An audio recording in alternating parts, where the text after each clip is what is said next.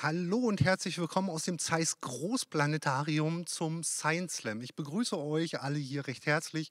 Ich bin heute mal wieder der Moderator, denn Science Slam hier im Planetarium mache ich schon sehr, sehr lange. Seit 2017 arbeiten wir mit Julia Offe zusammen von scienceslam.de und führen hier natürlich ganz viele Science Slams durch. Heute ist es ein bisschen ungewöhnlich.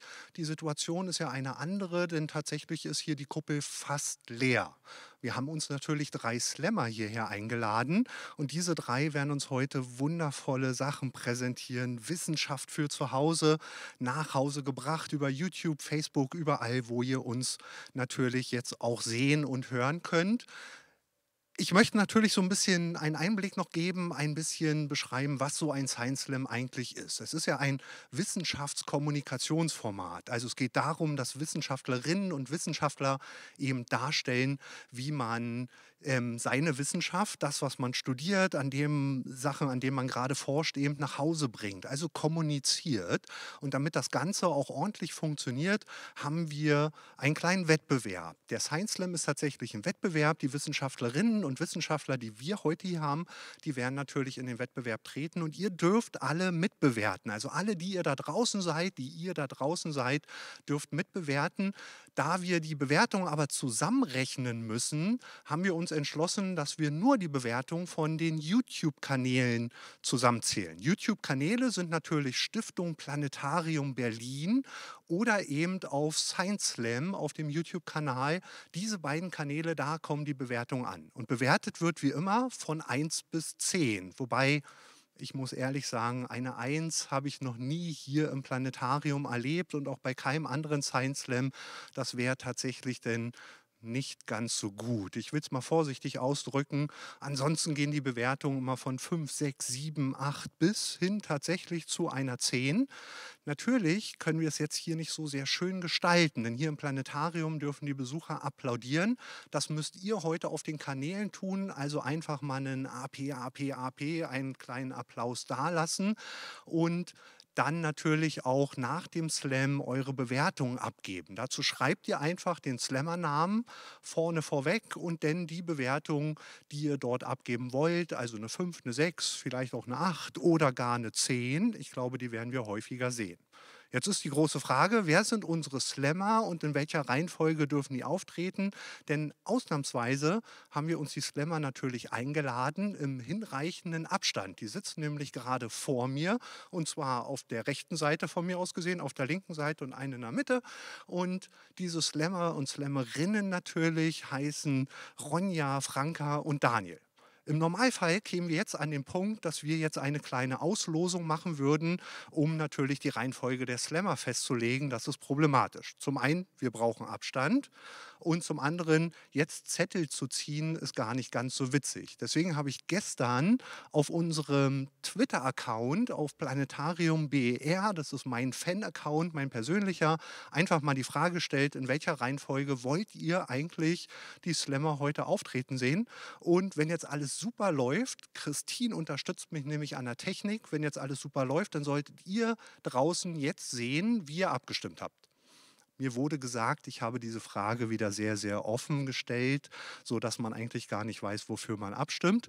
Stört mich aber nicht, denn wenn ich jetzt nach oben gucke, dann sehe ich, dass Ronja auf jeden Fall die meisten Bewertungen bekommen hat mit 50 Prozent, Franka mit 31,8 Prozent und Daniel kann den Abschluss heute bilden mit 18,2 Prozent, sodass wir unsere Reihenfolge einfach nach den meisten Bewertungen festlegen.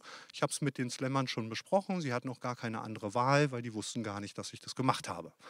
Ich würde sagen, wir haben jetzt soweit alles besprochen. Zehn Minuten Zeit hat jeder Slammer und jede Slammerin natürlich. Entschuldigt, wenn ich immer hier nicht alles so durchgender. Die Slammer winken gerade schon ab. Zehn Minuten Zeit hat jeder Slammer und von daher würde ich sagen, wir bereiten ganz kurz natürlich auch den ersten Foliensatz von Ronja vor. Ich werde hinterher mich mit Ronja noch ein bisschen unterhalten, wenn die Bewertungen denn stattfinden, so dass ich im Endeffekt jetzt meine Ankündigung ganz, ganz kurz halten werde. Ronja darf sich schon mal auf den Weg zu mir machen. Schnapp dir deinen PowerPoint-Pointer und ich weiß, du hast sogar eine kleine Überraschung mitgebracht. Da werde ich natürlich gar nichts zu erzählen, sondern das überlasse ich Ronja. Deine zehn Minuten starten natürlich jetzt. Ich wünsche dir auf jeden Fall schon mal viel Spaß.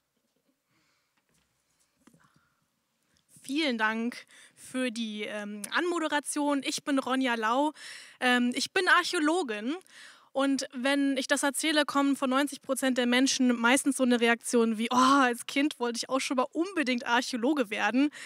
Ich mache aber hauptsächlich Textilarchäologie und da ist die Reaktion dann eher so ein, uff, ja, okay, ja, was hatten die Menschen denn damals schon an irgendwie, ne? Also Lederbikini, Lennenschutz, kann ja höchstens sowas wie ein Kartoffelsack gewesen sein oder so ein paar Felle übergeworfen. Alles war grau, braun, schwarz und prinzipiell schmutzig.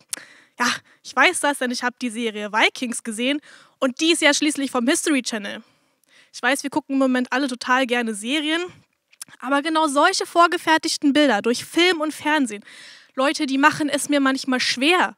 Ja, deabonniert den History Channel, glaubt nicht alle Netflix-Dokus und bitte, bitte, bitte, bitte, verbrennt eure Spartacus-DVD-Sammlung.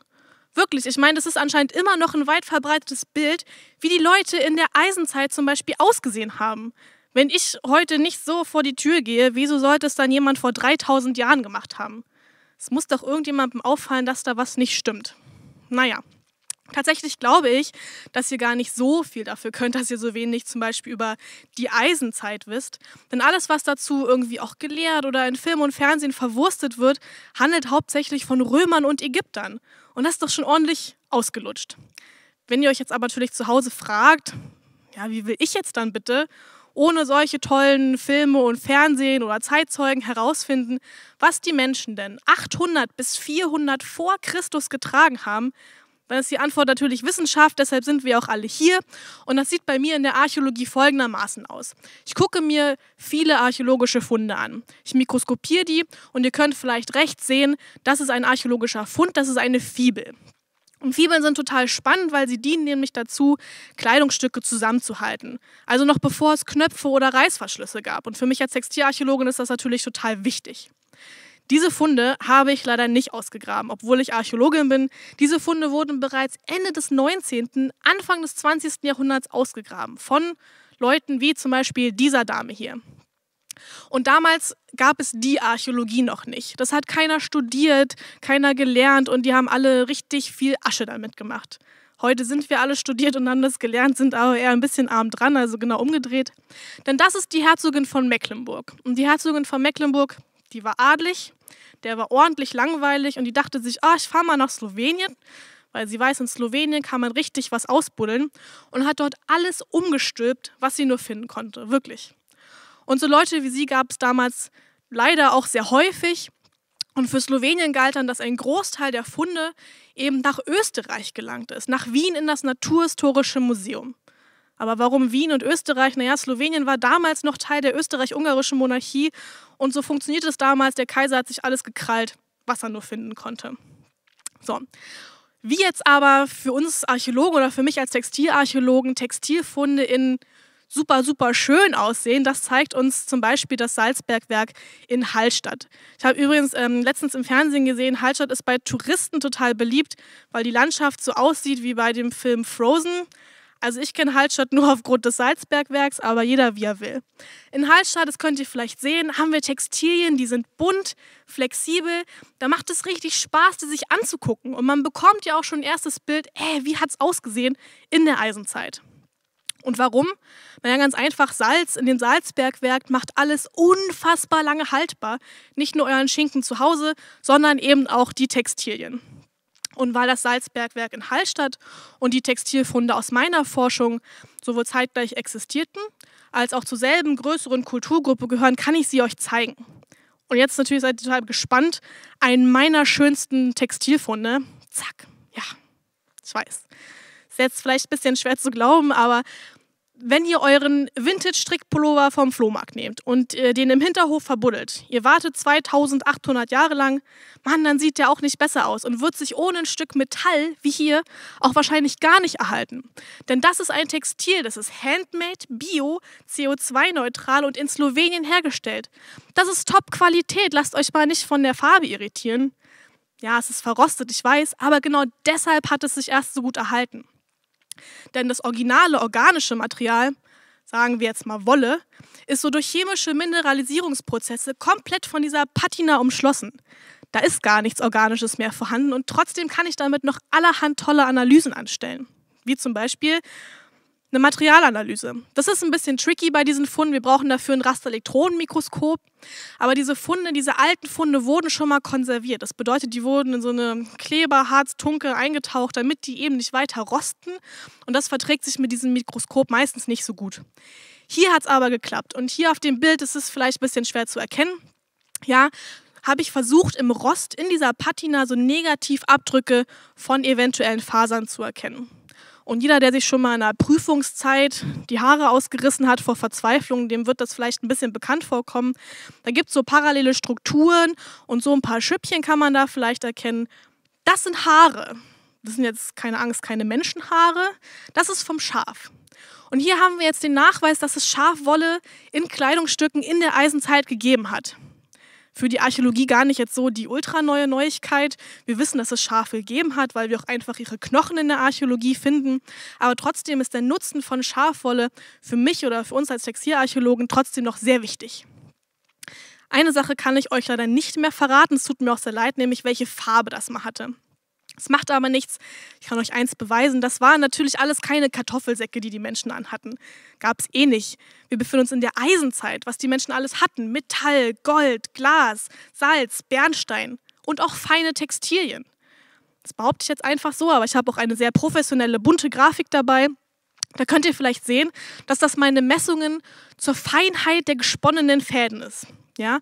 Und dieser dicke große Balken, der ausschlägt bei 0,3 bis 0,4 Millimeter, das ist fein. Das müsst ihr zu Hause erstmal schaffen, so einen Faden zu produzieren.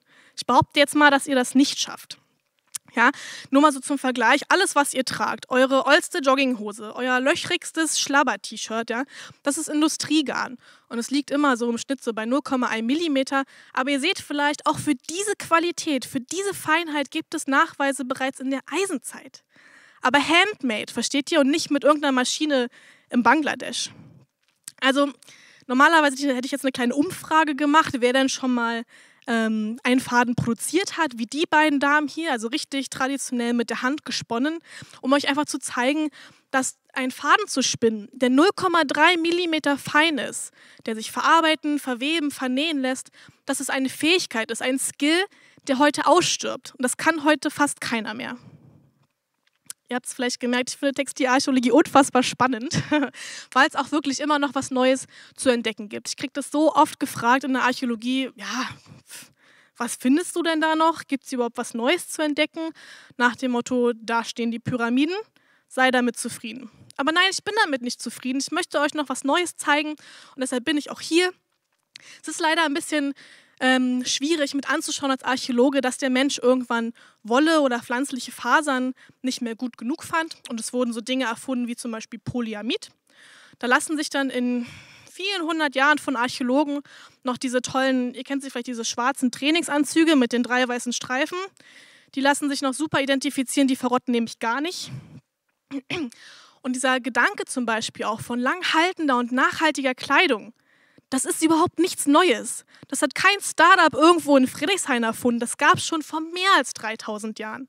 Ja, aber so Dinge wie Fast Fashion und diese ganze Industrie, die machen es uns viel zu einfach. Das ist ein bisschen deprimierend, immer anzuschauen als Archäologe. Wir gucken in die Vergangenheit, wir lernen ganz viel daraus natürlich auch und versuchen das manchmal anzuwenden auf die Gegenwart und warum auch nicht auf die Zukunft. Manchmal klappt das nicht immer. Ich will euch aber jetzt nicht deprimiert zu Hause zurücklassen, keine Sorge. Deshalb habe ich euch was mitgebracht. Ihr habt euch vielleicht schon gefragt, wer hier so neben mir steht. Ich hätte so gerne heute jemanden angezogen aus dem Publikum. Es geht aber leider nicht. Und zwar möchte ich euch zeigen, wie wir uns jetzt in der Archäologie oder wie ich mir jetzt jemanden aus der Eisenzeit überhaupt vorstelle. Also Anti-Leder-Bikini-mäßig. Und wir haben manchmal das Glück, dass wir bildliche Darstellungen von Menschen finden. Ähm, das könnt ihr auf der Folie sehen, da laufen so ein paar Ladies hin und her und ihr habt schon so vielleicht einen Eindruck, was die so tragen. Und ich enthülle einfach mal hier meine kleine Assistentin. Die trägt nämlich extra für euch, für euch heute das äh, Top-Outfit einer Hallstatt, also eine Eisenzeitfrau aus Slowenien. Ihr seht das vielleicht. Sie hat so eine Art Kleid an, das nennt man Peblos, der hängt hier ganz locker flockig rum ist schön kariert, in Rot gefärbt. Und ich sage euch, kariert, das haben auch nicht die Schotten erfunden, das gab es auch schon vorher. In Rot und sie hat so ein schönes Kopftuch, das trägt man so wie so eine Art Schleier. Das könnt ihr auch auf den Abbildungen sehen, in einem schönen Blau, kräftig gefärbt. Wir haben so ein bisschen Glasperlen als Schmuck, den sie trägt und so einen abgefahrenen Gürtel. Das basiert alles auf archäologischen Funden. Ja, ich habe mir das nicht ausgedacht, das ist rekonstruiert, das machen wir ganz gerne in der Archäologie, um auch zu zeigen, wie ist was gewesen, wie wurde das hergestellt oder wie hat es am Ende auch ausgesehen. Und das ist das Bild, was ich euch vermitteln möchte für die Eisenzeit, mein Lehrauftrag quasi. Vergesst den Lederbikini, vergesst die Fälle, das ist mir vollkommen wurscht. Prägt euch das ein, verbreitet die Botschaft, dass die Menschen in der Eisenzeit eher so ausgesehen haben. Das war's von mir heute. Ich bedanke mich. Habt noch einen schönen Abend.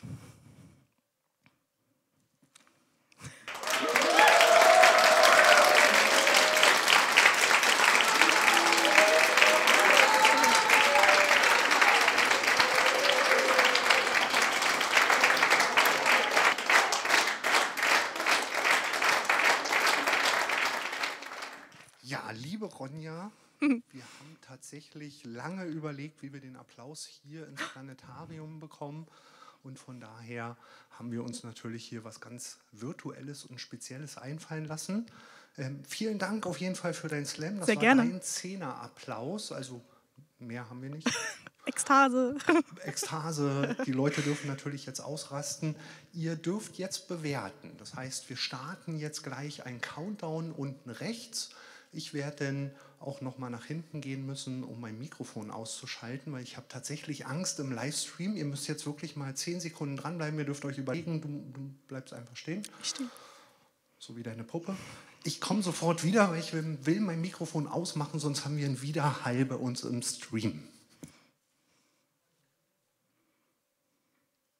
Ja, das ist natürlich dann auch Livestreaming, so dass wir hier denn tatsächlich auch das eine oder andere, was sonst so ganz normal läuft bei uns im Planetarium, einfach vergessen. Da muss man einfach mit durch. Und wir üben ja ganz, ganz viel und machen das mit dem Science Slam zumindest jetzt zum ersten Mal virtuell. Wir behalten Abstand. Ich habe gehört, so weit wie man mit seinem Arm natürlich dann laufen kann. Die Leute haben jetzt zwei Minuten Zeit. Der Countdown sollte schon laufen. Also gebt eure Votings ab. Wie gesagt, bei YouTube, nicht bei Facebook. Ich habe mir so ein paar Notizen gemacht, die man eigentlich vorher denn abspricht für die Anmoderation. Jetzt ist es quasi das Nachgespräch, was wir so ein bisschen führen. Ich habe gehört, du hast deinen Master an der FU in Berlin gemacht. Du bist gebürtig in Berlin. Ich bin gebürtige Berlinerin. Ich bin hier geboren, aufgewachsen. Ich war schon immer hier. Ähm, nur für meine Masterarbeit, ähm, das ja quasi das äh, Thema meines Science Slams ist, bin ich mal nach Österreich, nach Wien gegangen, weil ich mir natürlich die archäologischen Funde angucken musste. Aber du warst denn schon mal als Kind hier im Planetarium? Ne? Oh ja, bestimmt mit der Schule irgendwie zweite Klasse, aber ich kann mich aktiv nicht mehr daran erinnern. Deshalb freue ich mich total, hier zu sein. Auch wenn keine Leute hier sind, ist es trotzdem schön, hier unter dieser großen Kuppel zu sein. Ja, das ist immer für uns ganz wichtig, die Berlinerinnen und Berliner zu fragen, ob die schon mal hier waren. Die schlimmste Antwort ist natürlich nee. lassen wir jetzt mal so stehen. Ähm, ansonsten waren sehr, sehr viele natürlich schon hier. Ich habe gehört, prähistorische Archäologie. Also hm. ich habe es ja schon gehört, da mit deinem Fachgebiet natürlich drin. Und du hast mir gesagt, von Beginn der Menschheit bis heute forscht man dort. Naja, bis heute, das ist immer, man teilt das so ein bisschen auf. Ne? Also bis heute, ähm, wir definieren das in der prähistorischen Archäologie bis zu schriftführenden Zeiten. Ne? Es geht so bis ins frühe Mittelalter, denn alles, was danach ist, ist eher so Historie, Geschichte. Aber aber alles, was davor ist, so die Eisenzeit, Bronzezeit, Steinzeit, von Beginn der Menschheit an eigentlich ähm, ist alles vertreten. Natürlich kann man als ein Archäologe nicht alles abdecken, was es da an Zeiten gibt. Deshalb muss man sich immer ein bisschen spezialisieren und ich bin eben spezialisiert auf Textilarchäologie, aber eigentlich alle Zeiten, die es da so gibt. Ja, bis, bis heute wäre ja recht interessant, was ihr heute an Textilarchäologie da denn wirklich dann auch erforschen ja. und herausfinden könnt. Ähm, habt ihr aber wirklich Zeit, weil die meisten Sachen sind ja aus Plaste und habt gehört, das soll ziemlich lange dann auch da bleiben. Ja, sehr. Bevor es wieder verschwindet. Als genau. Astronom interessiert mich natürlich Archäologie vom Beginn der Menschheit. Wann begann denn die Menschheit? Naja, man kann das zum Beispiel so definieren, 2,5 Millionen Jahre für heute. Also man kann sagen, seit Beginn der Australopitheciden gab es hier irgendwelche, also gibt es menschliche Formen hier. Aber eigentlich ist der Homo sapiens ja quasi der heutige Mensch und als der sich dann in Europa hier auch niedergelassen hat, hat er natürlich seine, seine Kultur, kann man ja auch schon fast sagen, hier weit verbreitet. Und das ist so der Startpunkt meistens für die Archäologie bei uns hier in Mitteldeutschland. Ja, ich will es natürlich auch nicht unbeantwortet lassen, warum die Astronomen sich dafür interessieren. Wir stellen sehr häufig die Frage, wann begann die Astronomie? Da reden wir davon eigentlich, seit die Menschheit existiert. Mhm. Man muss es spezifizieren, seitdem die Menschen in den Himmel gucken und sich fragen, was das da oben ist. Da müssen wir natürlich schon ein bisschen denken können, ähm, aber daher ist es für mich immer so sehr interessant. Ich sage dann immer so 30.000 mhm. Jahre vor heute. Liege ich da so gut? Kann man Mittel? machen, ja. Es ist für die Archäologie halt unfassbar schwierig, dieses Bewusstsein einzufangen. Wann hat der Mensch irgendwie realisiert oder sich Gedanken halt darüber gemacht? Ne? Weil alles, was wir so haben, ist ähm, in solcher Zeit Steinwerkzeuge, vielleicht ein paar Höhlen Malereien, aber auch nicht unfassbar viel. Und es beginnt dann quasi auch in so Zeiten, so Metallzeiten, wie zum Beispiel auch die Bronzezeit, wo wir ähm, auch Abbildungen von ähm, Himmelskörpern haben. Ganz bekannt ist ja die Himmelsscheibe von Nebra in diesem Fall. Und da können wir das wirklich greifen, dass der Mensch ne, Sternbilder gesehen, identifiziert hat und sie halt auch für irgendwas benutzt hat. Aber alles, was so vorher ist, das ist immer sehr spekulativ in der Archäologie. Wir können ja Dinge nicht zu 100 Prozent beantworten. Wir können die Leute ja nicht mehr fragen, aber das Bewusstsein wird auf jeden Fall da gewesen sein, dass da die Sterne am Himmel sind. Ja, ist sehr schwierig mit den Fragen. Mich würde eigentlich noch interessieren, wie du zum Slam gekommen bist, weil es ist ja nicht so sehr natürlich. Wir arbeiten ja sehr viel in der Wissenschaftskommunikation. Ich bin da schon eine Weile unterwegs. Ich weiß, wie lange wir da tatsächlich denn jetzt schon drüber diskutieren. Ich finde es fantastisch, dass die Wissenschaftler rausgehen. Die Diskussion um Reputation und so ist natürlich dann immer ein bisschen schwierig. Aber wie bist du zum Slam gekommen? Ja, ich bin noch ganz frisch als Slammerin. Es ist heute erst mein äh, dritter richtiger Science Slam. Ich bin aber unfassbar davon überzeugt von diesem Format, weil erstens finde ich, dass die Wissenschaftler sehr immer in ihrer Wissenschaftsblase hängen und äh, wahrscheinlich gar nicht genau wissen, wie sie den anderen Leuten auch ihr Thema vermitteln können. Und das ist einfach hier bei so einem Science Slam eine super Übung erstens, dass man ne, das einfach versucht, was man so wissenschaftlich treibt, auch runterzubrechen aufs Wesentliche. Und zweitens ist es ja auch so, als Archäologe hat man ja Vermittlungsmöglichkeiten hauptsächlich über ein Museum. Und mir reicht das aber nicht. Mir reicht nicht, dass Menschen in ein Museum gehen und gucken sich einen Fund an und wissen im Endeffekt gar nicht, worum es da eigentlich geht. Und deshalb möchte ich einfach ne, das als zweites Medium versuchen, Leute zu vermitteln. Was treibe ich eigentlich in der Archäologie, um das eben so ein bisschen transparenter zu gestalten? Ja, ich glaube, unsere Zeit ist so langsam um. Ich könnte, glaube ich, noch stundenlang mit dir reden. Ich werde die Gelegenheit auch. heute nutzen. Und nach dem Slam werden wir uns natürlich hier noch ein bisschen mit großem Abstand, aber in einem wundervollen Raum aufhalten. Ich habe von Christine, von Fanny und von Julia, die bei uns an den Kanälen und an der Technik sitzen, gerade da unten Zettel hingelegt gekriegt. Haben wir gar nicht gemerkt, ne? Nee, gar nicht. Ja, wir werden, glaube ich, nachher nochmal alle ordentlich vorstellen. Ich sehe deine Punktebewertung. Das heißt, wir sind auch mit den zwei Minuten wirklich durch ging rasend schnell für mich. Ja, leider. Ja, leider. ich sehe aber auch, du hast tatsächlich 466 Punkte im Slam erreicht. Ich glaube, das ist nochmal ein Applaus wert. Danke, danke, danke. Schon. Vielen Dank Christine an alle, die da für mich gestimmt Rechner. haben. Wahnsinn. Eine Sekunde. Wir hören es gleich. Und bei YouTube und Facebook dürfen natürlich alle auch nochmal applaudieren. Ähm, wir geben nachher nochmal einen extra Applaus, auf jeden Fall. Alles Vielen Dank, Ronja, für Danke deinen auch. wundervollen Slam. Da kommt dein Applaus. Du darfst dich hinsetzen ich und nochmal. meine Freundin erstmal mit. Ja. Deshalb. Dankeschön.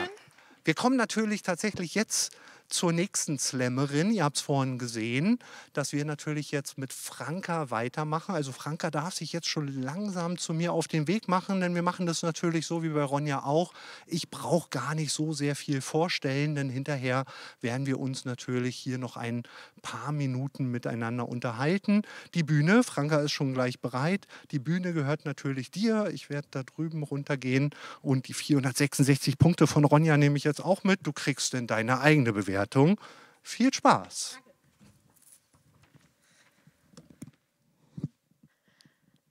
Hallo, wunderschön hier zu sein und wunderschön, dass ihr da seid, wo auch immer ihr seid. Schön, dass ihr zu Hause seid, geht nicht raus. Und das Thema heute sind, ihr seht es schon, Hormone. Die Dinger kennen wir als die kleinen Teilchen, die das Leben regulieren, das Universum und den ganzen Rest.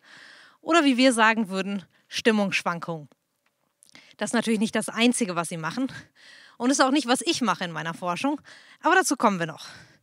Fangen wir erstmal noch mal ganz entspannt an mit dem Thema, was denken wir, was Hormone tun? Da ist unsere Vorstellung immer so ein bisschen stehen geblieben in den 50er Jahren. Das heißt, wir denken an schlimme Dinge. Wir denken an Hitzewallungen, an Panikattacken, temporäre Unzulänglichkeit, Ausraster, kurz gefasst alles, was Elon Musk so macht. Und da kann man sich natürlich schon manchmal fragen, why though? Also warum muss das alles sein? Und auch da ist unser Erklärmuster so ein bisschen in den 50er Jahren stecken geblieben. Wir stellen uns Hormone vor als eine nervige Nebenwirkung von irgendeiner Körperfunktion, die man nicht abschalten kann und die wahlweise nur Frauen betrifft, ist klar. Oder eben als Überrest von einer evolutionären Zeit, als Brusttrommel noch als Flirtstrategie durchging. Im schlimmsten Fall unnütz, im schlechtesten Fall schädlich. Vor allen Dingen etwas, dem man als erwachsener Mensch dringend aus dem Weg gehen sollte und das man ignorieren sollte. Aber damit tun wir ihnen in mehrerlei Hinsicht Unrecht, also den Hormonen nicht. Ihr wisst schon. Was machen Hormone? Bisschen leichter runtergebrochen. Hormone kommen von den Drüsen im Körper und gehen an alle möglichen Orte, um wichtige Informationen und Nachrichten zu überbringen. Zum Beispiel sagt uns Melatonin, wenn es stockdunkel wird und wenn wir schlafen sollten. Und Cortisol sagt uns morgens, wann wir aufwachen sollten. Und je nachdem, wie gut das funktioniert, wie sensibel wir sind, macht den Unterschied zwischen Morgenmensch und Morgenmuffel. Da könnte man natürlich trotzdem fragen, wozu brauche ich da jetzt Drüsen? Das kann doch mein Nervensystem machen, das kenne ich schon und das ist mir weniger suspekt.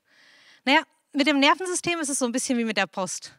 Das heißt, eine Nachricht geht los, die hat ein klares Ziel, macht sich auf den Weg, folgt einer vorgefertigten Bahn und kommt dann als einmaliges Signal bei uns an. So langfristige Projekte wie jetzt Wachstum oder Pubertät oder sowas, das lässt sich darüber schlecht koordinieren. Genauso wenig wie Sachen, die sich im ganzen Körper ausbreiten sollen. Dagegen sind Hormone so ein bisschen wie Twitter. Ihr folgt mir doch auf Twitter, oder? Hormone sind wie Twitter, weil eine Nachricht losgehen kann und im Körper theoretisch alle gleichzeitig erreichen. Und das ist sinnvoll, denn üblicherweise wollen wir, dass alle Teile unseres Körpers an einem Strang ziehen und sich zum Beispiel Körper und Geist nicht gegenseitig unterminieren. Beziehungsweise es bringt uns nichts, wenn wir panisch werden im Körper und der Geist hängt noch an der Excel-Tabelle fest. Dafür sorgen Hormone dann für die richtige Gänsehaut, für die geweiteten Pupillen, für den schnellen Herzschlag und für das ratternde Gehirn. Soll heißen, sie aktivieren in unserem Gehirn die Areale, die so ein bisschen tiefer liegen. Amygdala und Co., die sind da für Alarm und Aufmerksamkeit. Vor allen Dingen spielen sie auch eine wichtige Rolle in der Motivation. Denn auch da wissen wir ja, es funktioniert besser mit Anreizen. Sogar noch besser mit positiven Anreizen. Aber wenn das nicht funktioniert, lassen sich unsere Hormone üblicherweise auch von Kaffee hinreißen. Was nicht heißt, dass uns Hormone jetzt nur aufgeregt machen könnten oder Gänsehaut bringen. Im Gegenteil, manche Hormone können uns auch entspannen. Serotonin hat zum Beispiel so eine Wirkung. Dafür wirkt es aber weniger auf diese tiefer liegenden Hirnareale wie die Amygdala und viel stärker auf den präfrontalen Kortex. Der Teil in unserem Gehirn, der lenkt, denkt und dem Rest auch mal sagen kann, dass er die Klappe halten soll. Wie machen die Hormone das? Na, sie können zum Beispiel an so spezielle Rezeptoren anbinden an der Zelle und manipulieren, wie sehr die Zelle reagiert.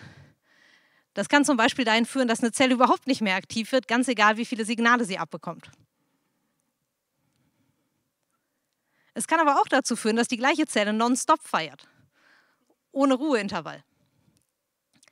Andere Hormone haben sogar die Macht, in die Zelle reinzugehen und da an Transportproteine zu binden, in den Zellkern zu gehen und dafür zu sorgen, dass die DNA das tut, was in ihr geschrieben steht. Dann werden zum Beispiel Proteine transportiert oder es werden Rezeptoren eingebaut. Und so können Hormone beeinflussen, wie die verschiedenen Teile unseres Gehirns miteinander kommunizieren. Denn auch das ist wichtig, denn unser bestes Denken kriegen wir üblicherweise hin, wenn Denken und Fühlen gut gekoppelt sind und miteinander interagieren und harmonieren.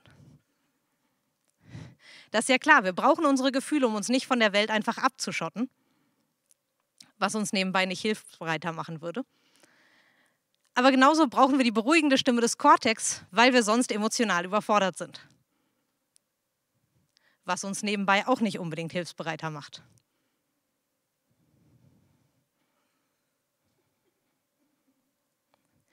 Und damit sind wir schon bei dem, was ich mache. Ich bin soziale Neurowissenschaftlerin und ich gucke mir deswegen Hormone an und schaue, wie wirken die jetzt auf unser Sozialleben? Was haben die für eine Bedeutung? Das, was einem da am schnellsten einfällt, ist natürlich Testosteron. Testosteron denken viele Leute immer gleich so ein bisschen an Aggression. Das war eigentlich ein bisschen unfair, weil Testosteron an sich einfach für Herausforderungen im Allgemeinen da ist. Und natürlich für Sexualität, genauso übrigens wie Östrogen. Und diese Rolle in der Sexualität ist natürlich auch, warum Gorillas in der freien Wildbahn immer so aussehen, als würden sie für Tinder posieren.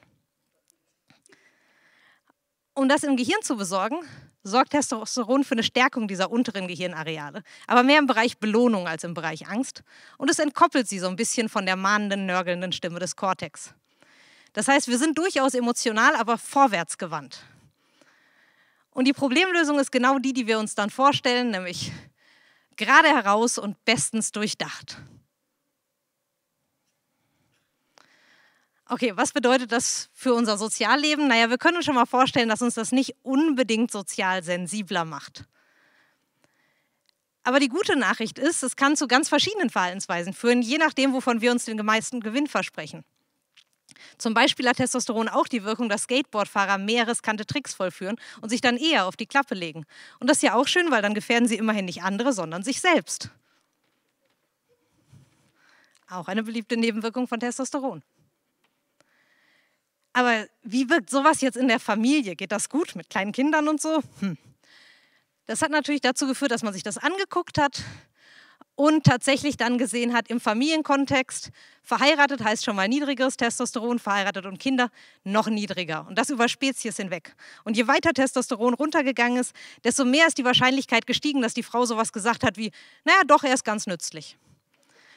Das hat so ein bisschen zu so einer merkwürdigen Annahme geführt, nämlich, dass Kinder quasi das Gegenteil von Männlichkeit sind. Und dass man seine Männlichkeit aufgeben muss, um ein guter Vater zu sein. Allerdings das Ganze so als Gegensatz darzustellen, ist zum Glück sexistische Kackscheiße. Und zwar gibt es dazu noch ganz viele andere spannende Studien. Zum Beispiel welche, die uns zeigen, dass wenn wir ein Baby schreien hören, unser Testosteron eigentlich hochgeht. Und auch, dass unser Gehirn dann stärker auf dieses Babyschreien reagiert, wenn wir unter Testosteron stehen. Das haben wir uns in unserem Labor angeguckt. Was anderes, was wir uns angeguckt haben, sind Gesichtsausdrücke. Wenn wir zum Beispiel Kinder in Gefahr sehen. Und auch da sehen wir eine stärkere Reaktion unter Testosteron. Das führt im Moment zu der Theorie, dass man sagt, vielleicht hat Testosteron ja eine wichtige Rolle in der Familie, aber in bestimmten Situationen, immer dann, wenn wir schnell handeln müssen, wenn wir Schutz brauchen. Aber es heißt vor allen Dingen, dass Testosteron uns durchaus auch sozial sensibel machen kann. Jedenfalls im Familienkontext. Und jedenfalls in gewissen Bahnen, das muss man auch im Kopf halten. Zu viel ist nie gut. Das heißt, wahrscheinlich ist die Lösung Testosteron runter, ja, aber wir müssen uns eben auch immer die Möglichkeit aufbewahren, es im richtigen Moment zu aktivieren. Das zweite Hormon, das wir uns angucken, ist Oxytocin. Das kennen wir so als das Hormon, das Soziales für uns belohnend macht. Tatsächlich sorgt das eher für eine stärkere Kopplung, Top-Synchronität. Alles läuft und das ist halt auch das richtige Mindset fürs Soziale. Zumindest mit den Leuten, die wir kennen und mögen. Kein Wunder also, dass viel Oxytocin bei Fürsorge ausgeschüttet wird und wenn wir uns um Kinder kümmern. Aber wir wissen ja auch, dass es da große individuelle Unterschiede gibt. Und was wir uns im Labor so ein bisschen angucken, ist, wie kommt das? Wo kommen diese Unterschiede her? Wenn man sowas verstehen will, guckt man sich am besten die Kindheit an, wo das alles noch gebaut werden muss und wir vor allen Dingen emotional meistens überfordert sind. Wie kommt das? Naja, diese Kopplungsverbindungen sind bei Kindern eigentlich noch gar nicht ausgeprägt. Was wir haben, ist die Bottom-up-Verbindung. Also den Verstand ausschalten funktioniert von Anfang an top. Alles andere müssen wir durchaus von anderen Leuten lernen. Aber wie läuft das jetzt, wenn wir unter erschwerten Bedingungen aufwachsen müssen? Das lernen wir am besten von der Epigenetik. Das ist der dritte Weg, auf den Hormone uns beeinflussen können. Da können die so kleine Ketten an die DNA hängen und dafür sorgen, dass bestimmte Teile der Gene mehr oder weniger abgelesen werden. Kann man sich so ein bisschen vorstellen, als würde man mit einem Kuli in unserer Bedienungsanleitung rumkrickeln.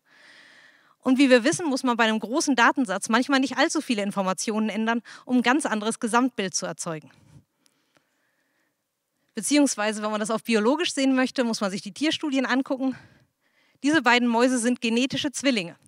Der Unterschied sind, dass manche Gene durch die Ernährung ein- oder ausgeschaltet wurden. Wir können uns das Ganze aber auch angucken bei sozialen Genen, nämlich wenn man eine Maus relativ häufig hochhebt und dann auch stresst, dann sieht man diese Anlagerung an der DNA bei stressbezogenen Genen und auch bei Oxytocin. Wenn man dagegen den Stress, ah, Das findet sich dann später auch in ihrem Charakter. Wenn man dagegen den Stress eliminiert und die Mutter einfach durch eine Bürste ersetzt und die Maus streichelt, bei Mäusen funktioniert das top, dann gehen diese Anlagerungen weg. Und damit kommen wir zum Ende, nämlich das, was man machen kann bei Menschen. Da versucht man genau das, beziehungsweise mit Kangaroo Care und Ganzkörperpflege auch. Und wir wissen auch zum Beispiel, dass das Gleiche funktioniert bei Vätern, natürlich. Und was wir uns angeguckt haben im Labor ist, was passiert denn jetzt, wenn wir schon erwachsen sind mit diesen Anlagerungen? Wie beeinflusst das, wie wir auf Menschen reagieren? Auf Erwachsene oder Kinder? Und da haben wir eben gesehen, dass es zwei Möglichkeiten gibt. Bei vielen Anlagerungen fällt es uns eher schwerer, Gesichter zu verarbeiten. Das sind soziale Defizite. Bei wenig Anlagerungen kann es aber auch dazu kommen, dass wir manchmal sozial überfordert sind, weil wir zu stark reagieren. Und das heißt eben als Fazit, es gibt zwei Möglichkeiten, auf alles zu reagieren. Mit zu viel Angst oder mit zu viel Lässigkeit. Und das ist eine gute und eine schlechte Nachricht. Die gute Nachricht ist, dass viel, was wir von den Hormonen anstrengend finden, eigentlich positiv ist, sondern ein Anpassungsmechanismus. Die schlechte Nachricht ist, dass uns das, was wir früh an Erfahrungen gemacht haben, auch manchmal länger verfolgen kann, als wir denken und manchmal auf Arten, mit denen wir gar nicht damit rechnen. Und deswegen ist es wichtig, dass wir gut mit unseren Hormonen umgehen, sie pflegen, gerade in Zeiten von Corona. Viel kuscheln, wenig stressen, das ist das Wichtigste, was wir gerade versuchen können, keine Angststörungen entwickeln. Wir haben so schöne menschliche Fähigkeiten. Lass sie uns nicht verschwenden. Vielen Dank.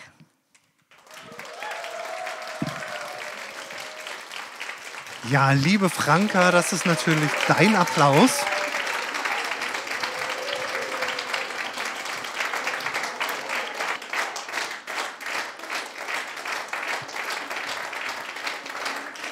Man wartet den Applaus natürlich ab. Vielen Dank für deinen wundervollen Slam die Zuschauer bei uns an den Kanälen, bei Facebook, YouTube, überall, wo wir gerade streamen, die dürfen natürlich jetzt wieder in die Bewertung gehen. Der Countdown, der läuft schon oder wird gleich gestartet. Zwei Minuten sind wieder Zeit für uns, dass wir uns so ein bisschen über deinen ähm, Slam unterhalten können. Ich sehe gerade, ähm, hormongesteuert ist immerhin selbstbestimmt. Du hast ein Buch geschrieben. Genau, und es ist rausgekommen direkt an dem Tag, als die Buchläden geschlossen wurden. Oh, das ist äh, wundervoll günstig oder ungünstig. Ähm, genau. Du hast aber noch nicht aus dem Buch denn mal vorgelesen. Eine Lesung hat ja dann auch noch nicht stattgefunden. Eine hat tatsächlich stattgefunden in Hanau. Die war auch sehr, sehr schön, hat viel Spaß gemacht und ich hätte sie noch lieber gehabt, wenn ich gewusst hätte, dass es die letzte sein wird für eine sehr, sehr lange Zeit. Ja, dann werden wir vielleicht mal überlegen, hier mit unseren Wissenschaftlern, denn die Wissenschaftskommunikatoren haben alle wundervolle Bücher geschrieben, hier mit unseren Wissenschaftlern vielleicht eine Buchlesung zu machen. Ich sehr gerne. lade dich dann sehr, sehr gerne wieder ein. Auf meinem Zettel steht, du bist Neurowissenschaftlerin. Du hast es ja gerade so ein bisschen beschrieben. Kannst du uns ja vielleicht noch mal ganz kurz, in ganz kurzen Sätzen sagen, also so in der nächsten halben bis dreiviertel Stunde, was eine Neurowissenschaftlerin tut? Ähm, wir gucken in den Kopf und versuchen halt nachzuvollziehen, wie Denken funktioniert eigentlich. Achso, darauf hast du, glaube ich, auch deinen Doktortitel. Ich müsste dich ja eigentlich Dr. Franka nennen. Frau aber Dr. Wir sind Franka ja hier im. Internet, das ist informell. Wir sind im Internet, da wird geduzt, aber in der Astronomie wird halt auch geduzt.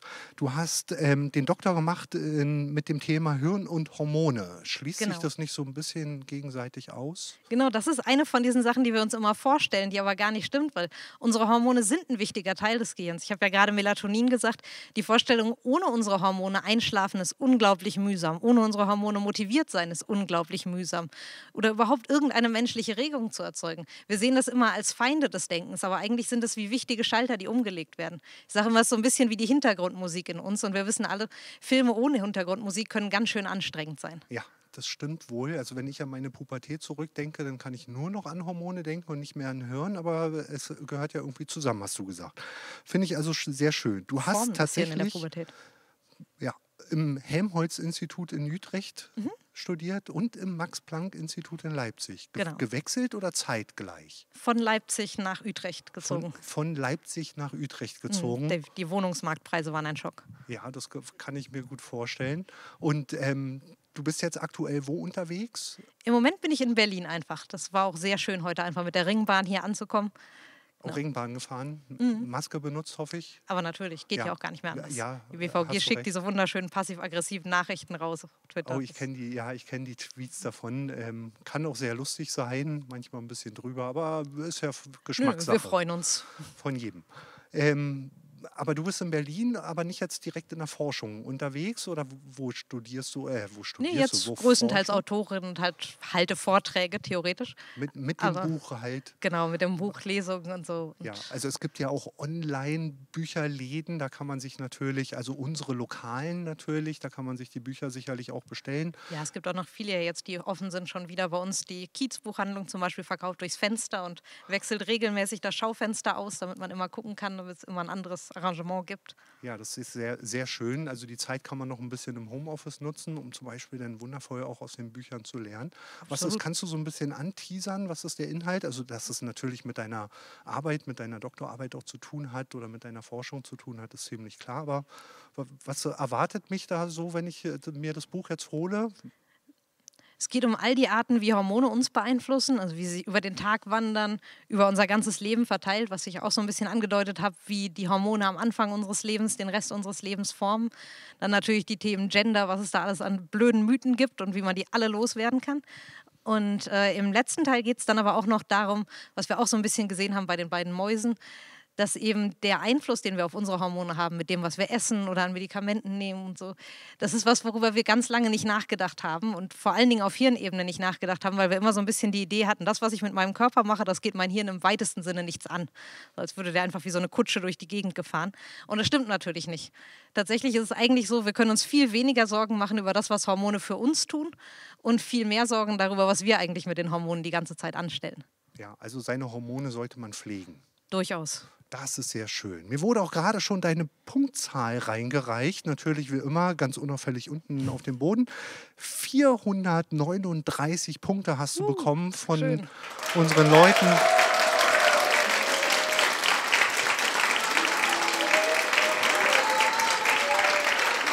Dein Applaus. Wir werden natürlich beim nächsten Mal einen Applaus heraussuchen, denn der, der dann tatsächlich zweieinhalb Minuten lang läuft.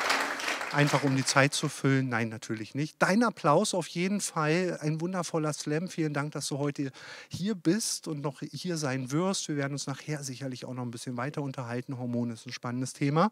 Wir kommen aber jetzt zum Abschluss. Von daher klingt dein Mikrofon sehr gerne ein zu unserem letzten Slammer für den heutigen Abend. Daniel, möchte ich natürlich langsam zu mir auf die Bühne bitten. Auch hier wieder keine lange Vorrede. Danach werden wir uns noch ein bisschen unterhalten. Daniel ist ein alter Bekannter von mir. Wir kennen es schon eine Wir kennen Weile. schon, ja, paar Jahre, ne? Schon so ein ja, paar Jahre Ja. kann man sagen, richtig. Einer der ersten Slammer hier bei uns. Aber das soll natürlich gar nicht in die Bewertung einfließen, sondern du musst dich jetzt richtig, Richtig, anstrengen, ja. Franka und Ronja nochmal schlagen zu können. Daniel, deine Zeit läuft jetzt. Deine Okay. Folien sind da. Viel Spaß bei dem Super, Slam. danke. Ja, ähm, hallo, ähm, guten Abend. Ja, ich bin der Daniel Mesa. Ich äh, komme ursprünglich aus Mexiko. Und ich habe sogar hier meinen offiziellen mexikanischen Ausweis mit mir dabei. Und ja, was mache ich? Ich bin Physiker und ich mache so äh, Forschung in Solarzellen, ne? also Photovoltaik.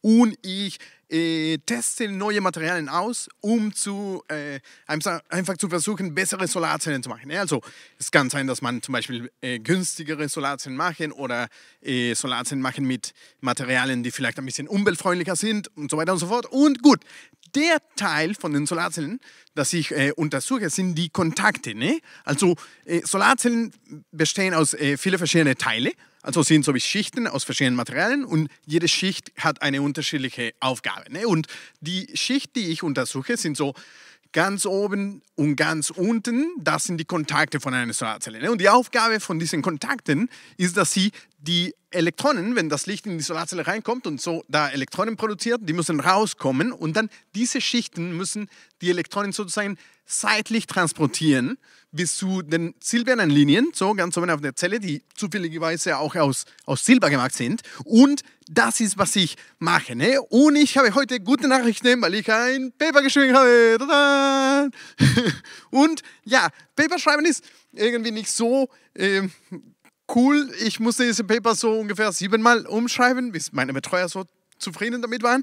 Und äh, ja, diese blaue Linie zeigt so ungefähr, wie zufrieden sie waren. Ne? So am Anfang gar nicht und dann ein bisschen mehr. Dann irgendwann waren sie zufrieden. Und die schwarze Linie hier zeigt ungefähr, wie viel ich noch von meinem Paper verstehe.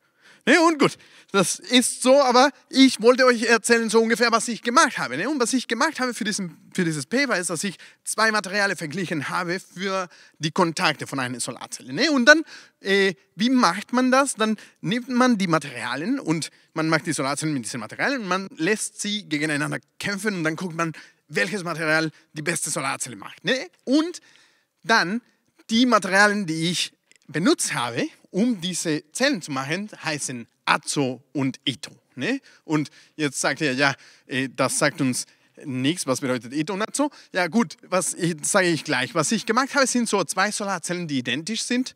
Nur, dass die eine die Kontakte aus Ito hat und die andere aus Azo. Und das ist sehr wissenschaftlich. Und dann habe ich, dann sagt er, ja, was ist Ito und Azo? Das sagt uns nichts. Ist ganz einfach. Ito ist Zin-dotiertes Indiumoxid. Und Azo ist Aluminium-dotiertes Zinkoxid. Ne? Und vielleicht sagt ihr, ja, dotiertes, was bedeutet das? Das sagt uns sowieso nichts. Und dotiertes ist so ein wissenschaftliches Wörtchen, ein bisschen kompliziert, aber ist ganz einfach zu verstehen. Also guck mal, wenn man dotiertes zwischen zwei Wörtern findet, was man machen muss, ist einfach das erste und dritte Wort tauschen. Und dann statt dotiertes schreibt man mit ein bisschen. Ne? Und dann, es ist ganz einfach, weil Ito ist ein Indiumoxid mit ein bisschen Zin reingemischt und Azo ist Zinkoxid mit ein bisschen Aluminium. Ne? Und das sind die zwei Materialien, die ich untersucht habe. Ne? Und dann, was habe ich gemacht? Äh, warum habe ich das gemacht? Das ist wichtig zu sagen, der Grund. Weil, wie bei einem Boxkampf mit den Materialien, ist es wichtig, welche Spitzname die Kämpfer haben. Ne? Zum Beispiel in unserem Fall haben wir nicht Azo gegen Ito, sondern billiges Azo versus seltenes Ito. Warum? Weil Azo ist ein Material aus Aluminium und Zink, sind zwei billige Materialien und deswegen wollen wir das benutzen für Kontakt. Und Ito enthält Indium und Indium ist eine seltene Erde. Ne? Also das ist dann relativ teuer und es ist auch nicht so umweltfreundlich, die Extraktion von, von Indium. Und dann, wenn ihr eine unwissenschaftliche Bestätigung haben wollt, von diesem ist ganz einfach. Wer hat bei sich zu Hause zum Beispiel Batterien mit Zink, ein Alufahrrad oder Alufolie? Ja, fast alle. Ne? Und wer hat bei sich zu Hause zum Beispiel zehn Löffelchen oder irgendwas aus Indien? Wahrscheinlich nicht so viele. Ne? Gut, wenn ihr eine wissenschaftliche Bestätigung davon haben wollt, es gibt ein Paper von einem Typ, der hat so berechnet, wie viel äh, von verschiedenen Elementen es in der Erde gibt. Und es gibt ungefähr 100.000 mal mehr Aluminium und Zink als Zinn und Indium. Gut, was ich gemacht habe, ist, dass ich diese Solarzellen gemacht habe, dann habe ich die Effizienz gemessen und die Solarzelle mit ITO-Kontakte hatte 22,8% Effizienz, ne, was richtig gut ist. Und meine Zelle mit Azog hatte 22,6. Also nicht so gut, vor allem weil man mit solchen Ergebnissen nicht so einfach publizieren kann. Aber gut, mein Betreuer meinte, Daniel, wenn du promovieren möchtest und diese Ergebnisse publizieren, musst du so wie ein Detektiv sein und suchen, wo diese 0,3% Unterschied geblieben sind. Ne? Und ich habe gesagt, ja, das wird schwer sein. Ich habe nicht mal eine Lupe, ne? weil er meinte, deine Brille ist groß genug, mach dir keine Sorgen. Und dann habe ich mir auf die, Suche, auf die Suche gemacht und einfach alles gemessen, was man an Solarzellen messen kann. Ne? Die IV-Kennlinien, das Reflexionsspektrum, Transmissionsspektrum, EQE, IQE und die Zellenstruktur. Ne? Und leider bei all diesen Messungen konnte ich keinen Unterschied finden. Wie es auf die Tellemstrukturen. Ne? Aber die Tellemstrukturen waren so eine Sache, die ich bis zu diesem Punkt nicht kannte. Und die Tellemstrukturen sind so wie kleine äh, Streifen auf dem Material aus Silber. Und durch diese Streifen kann man, also das sind so Streifen aus Silber auf dem Material, das man untersuchen möchte. Und die sind voneinander entfernt eine bestimmte Distanz, die wir sehr gut kennen. Ne? Und dann, was man machen kann, ist, dass man äh, die Elektronen reinpusht durch eine äh, deinen Streifen und dann durch eine andere Streife rausziehen und messen, wie viel Energie sie verloren haben. Gut, und dann wollte ich das messen, aber dann war es Weihnachten und dann bin ich nach Mexiko geflogen.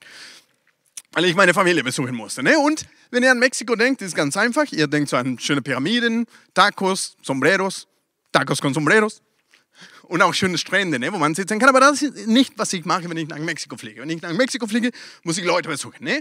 Einfach meine Tante Chacha besuchen, meine Tante Julie besuchen, all diese ganzen Leute besuchen. Aber gut, zum Glück habe ich meinen Kiffer, mit dem ich ganz, also die ganze Zeit rumfahren kann und dann ein bisschen Mathematik ist ganz einfach. Mit diesem Käfer kann ich 10 Kilometer fahren mit 1 Liter Benzin und 1 Liter Benzin kostet 10 Pesos. Das bedeutet, dass 1 Kilometer zu fahren kostet 1 Peso. Und dann sollte es ganz einfach sein, zu berechnen, wie viel es kostet, die Reise, um eine Tante zu besuchen. Ne? Zum Beispiel, stellt euch mal vor, dass das euer Haus in Mexiko ist und dass ihr eure Tante besuchen müsst. Und jetzt sagt ihr, ja, ich wohne nicht in Mexiko. Das ist aber kein Problem, weil äh, mi casa es su casa. Aber gut, und meine Tante wohnt 100 Kilometer entfernt, 200 Kilometer entfernt und 300 Kilometer entfernt. Und dann in Theorie sollten diese Reisen 100, 200 und 300 Pesos kosten. Ist leider in der Praxis nicht der Fall. Diese Reisen kosten 110, 210 und 310. Ne? Und das ist ein bisschen komisch. Ne? Also als Physiker gefällt mir das nicht, weil diese 10 Pesos sind so wie unabhängig von der Distanz. Ne? So, wenn ich diese Punkte draufsetze und dann eine Linie auf die Punkte, es ist so, als ob ich 10 Pesos bezahlen müsste, um 0 Kilometer zu fahren. Und das ist irgendwie ein bisschen komisch, aber gut. Der Grund dafür ist, dass es in Mexiko diese Mauthäuschen gibt. Und immer, wenn man in die Autobahn reingeht oder raus, muss man 5 Pesos bezahlen. Ne? Und dann ergibt alles Sinn, weil für, zum Beispiel meine Tante Juli zu besuchen sind 5 Pesos rein und dann 5 Pesos wieder raus und dann 100 Kilometer Benzin und dann ergibt alles Sinn. Also man muss das sagen, dass der Preis von einer Reise besteht aus, wie viel Benzin man braucht plus diese Mauthäuschen. Und dann ergibt alles Sinn und jetzt sagt er, ja, was hat denn alles mit Telem-Strukturen zu tun? Ne? Wir kommen dann jetzt zu dem Punkt.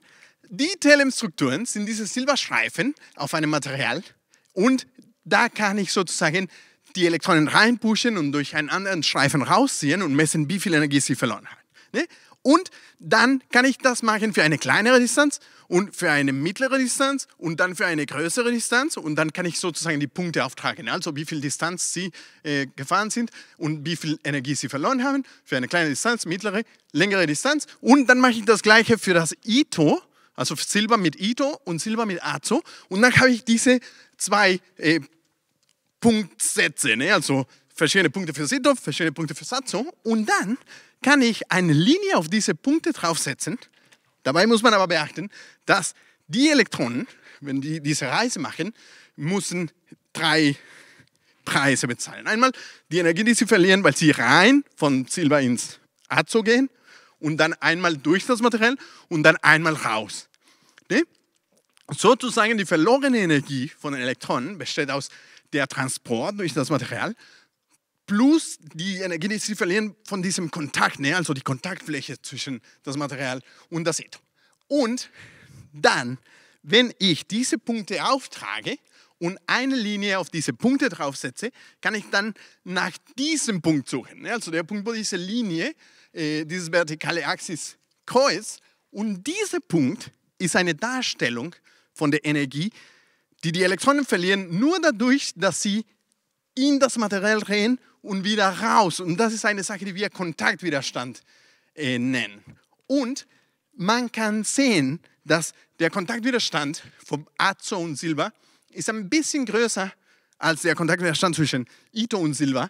Und wenn man die Berechnungen macht, wie viel Energie geht verloren, nur dadurch, dass der Kontaktwiderstand von Azo ein bisschen größer ist, sieht man, dass genau die 0,2 Prozent, also sehr äh, passend zu den experimentellen Daten, deswegen ist die Solarzelle mit Azo und Silber ein bisschen schlechter als die mit Ito und Silber. Und das ist ganz gut, weil dann könnte ich ein Paper schreiben und sagen, dass die Kontaktfläche vom Azo und Silber ist schuld, also sozusagen die ist ein bisschen schlechter als die Kontaktfläche zwischen Ito und Silber. Sozusagen Azo und Ito, die sind beide ganz gut für den Transport von den Elektronen, aber der Kontakt funktioniert so, nicht so gut. Und dann die Frage ist, kann man diesen Kontakt verbessern oder sozusagen kann man die Mauthäuschen in der Solarzelle abschaffen? Und das ist eine ganz gute Frage. Aber zum Glück eine Frage für einen anderen Doktorand, weil ich schon fertig mit diesem Thema bin. Und das war's. Wir können fröhlich sein, weil wir die 0,2% gefunden haben und sogar ohne eine Lupe. Vielen Dank. danke, danke.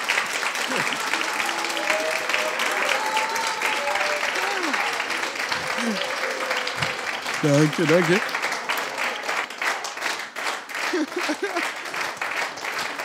So, fertig. Fertig.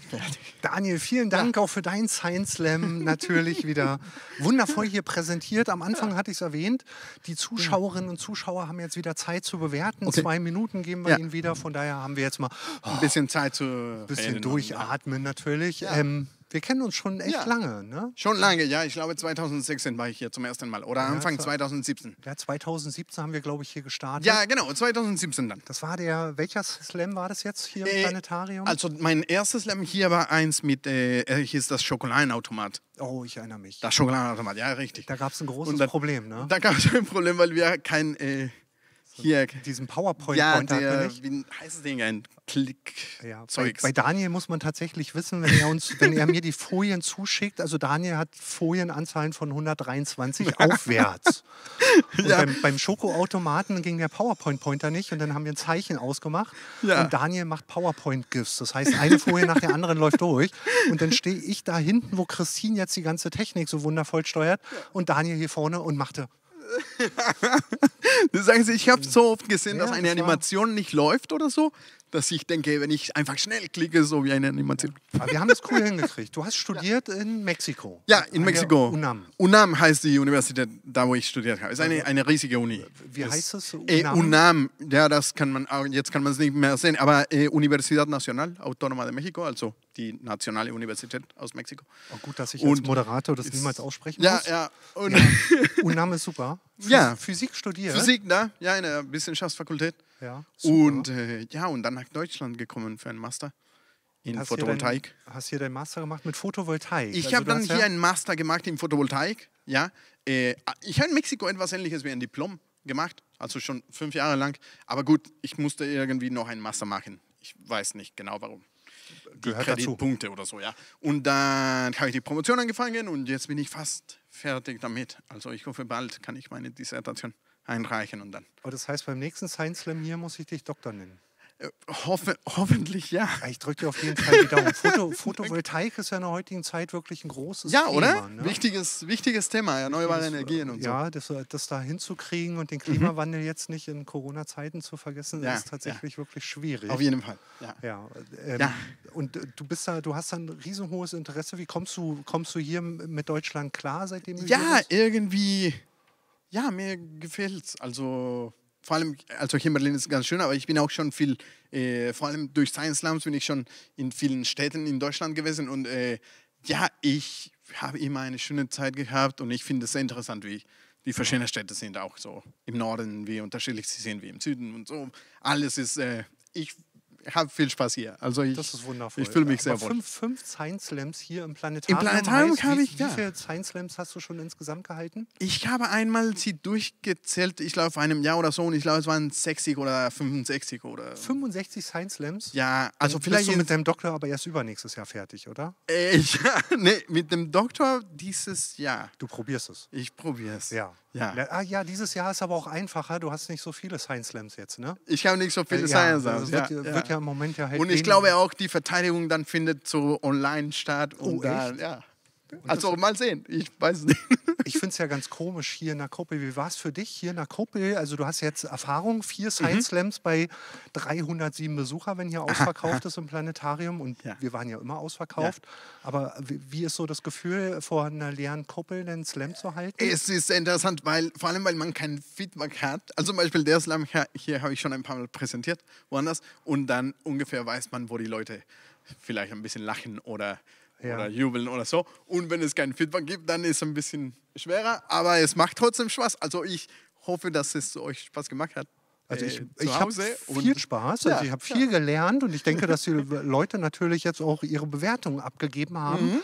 Und natürlich dich auch bewertet haben. Wie immer finde ich hier komischerweise mein Zettel vor meinen Füßen. Ja. Ähm, 304 Punkte Ja, hast du bekommen von den Leuten im Internet eben auf unseren Kanälen drauf. Ich glaube, das ist nochmal ein wundervoller Applaus wert. Danke, danke. Dankeschön, Dankeschön.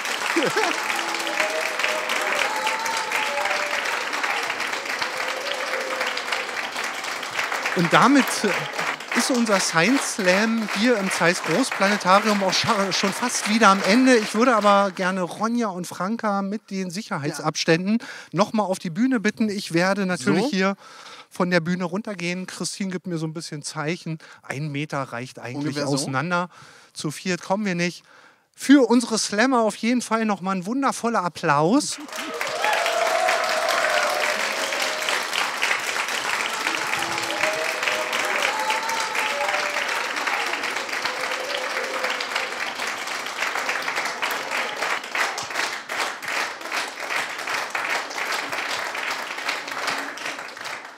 Unserem Applaus ganz zum Schluss, ihr dürft jetzt wieder Platz nehmen, dann kann ich nach den Abstandsregeln nämlich wieder auf die Bühne. Bei unserem Applaus zum Abschluss hört sich das immer so an, als würde gleich jemand Zugabe rufen. Ne?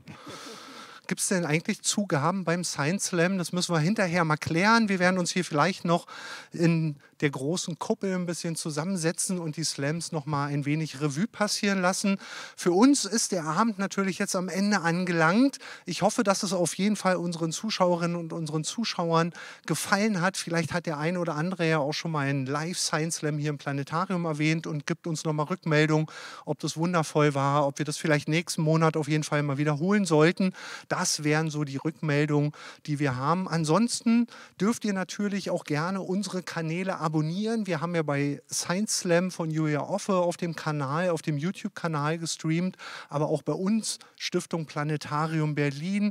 Lasst einfach ein Abo da, dann werdet ihr in den nächsten Tagen und Wochen natürlich auch noch wundervolle Formate erleben. Julia wird auf ihrem Kanal bei Science Slam eben nächsten Dienstag um 21 Uhr wieder ein Online Science Slam abhalten.